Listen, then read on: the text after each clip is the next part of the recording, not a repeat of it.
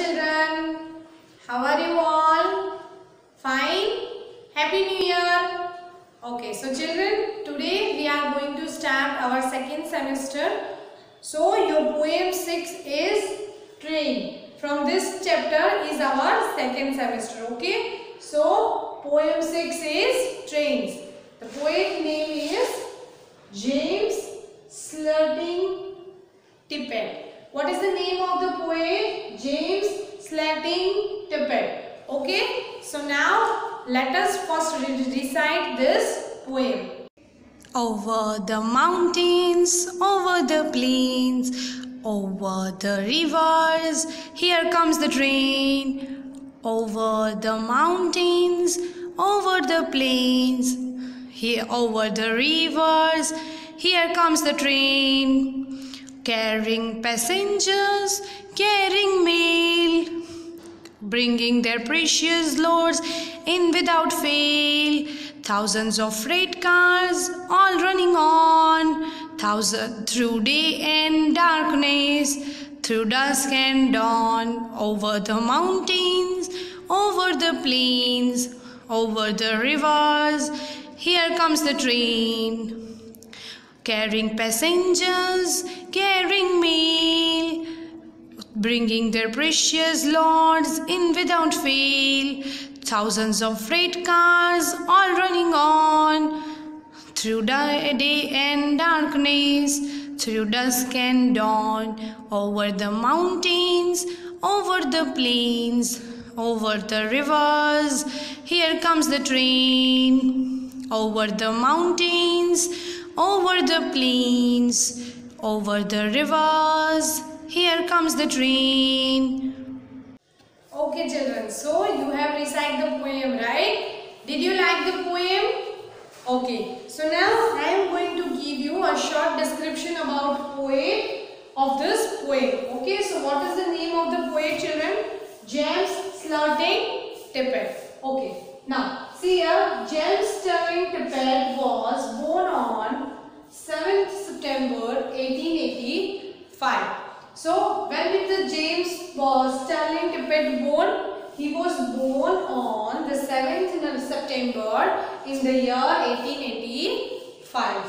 Next, in Memphis, Missouri was an American educated and a children's writer. Where did he born?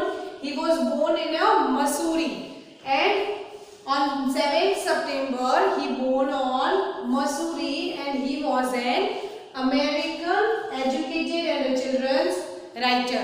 Where did he uh, his education? He completed his education in America and he was a writer of the children's. He was writing many books for children's. Now later he became the principal of Peabody Demonstration School.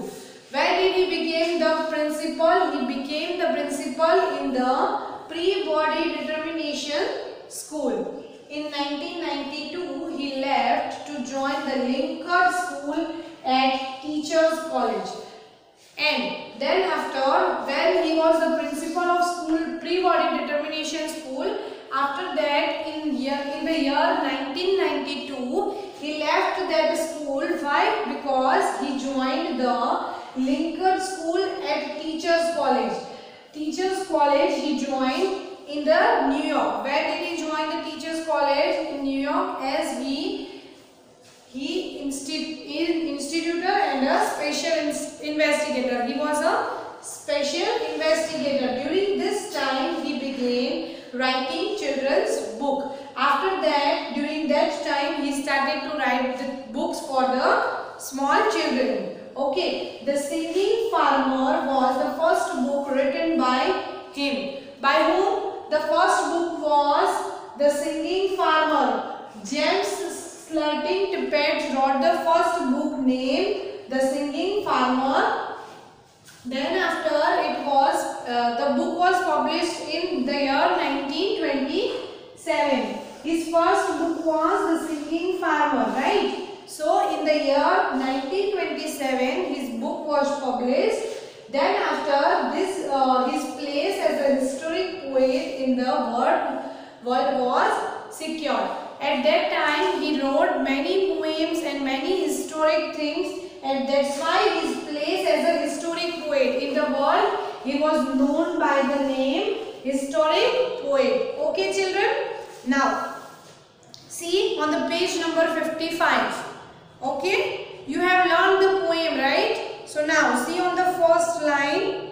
Over the mountains, over the plains, over the rivers, here come the trains. So this poem is about trains. Do you like to travel in the trains children? Okay, you all have seen the trains, right? Yes, and trains are the main uh, major part uh, means of using to transport to one thing, one place to another place. Okay, things are transporting in the trains from one place to place. So here in the first line, what is it? Over the mountains, over the plains, over the rivers, here come the trains. So train is passing from the mountains. Mountains means hills. Here you can see the mountains, right? So trains are passing from the mountains, plains. Plains means a large plain area and the rivers. Large plain area is known as a plains and over the rivers. Here you can see rivers also. Okay. So your train is passing from the mountains, plains and rivers. Here come the trains. Next stanza. Carrying passengers, carrying mails, bringing their precious loads in without fail. What a train is carrying passengers. What is the meaning of passenger children? Passenger the train going from one place to the other place. So they are known as passenger. Why passenger? Because they are traveling in the train to go to another place, right? Now, meaning next line carrying mail. What is the meaning of mail children? Letters and other things sent by one people to the other. Mail means uh, uh, mails are coming or letters some have sent. In the previous time children you know there were no mobile phones and everything. At that time uh, people were sending letters to each other to tell something. So here carrying mails. So train is also carrying mails and letters. So next, see in the next line, bringing their precious loads. What is the meaning of precious loads children? Valuable things means very precious. Okay, so they are carrying precious loads in without fail. They are very carrying very carefully valuable things. Now see next stanza thousands of freight cars all rushing on through day and darkness through dusk and dawn okay thousands of freight cars freight cars means children those trains which carries good in a large amount freight car means where in the in that trains people are not sitting but only they are carrying the goods from one place to the other place. Okay. So that is known as freight cars.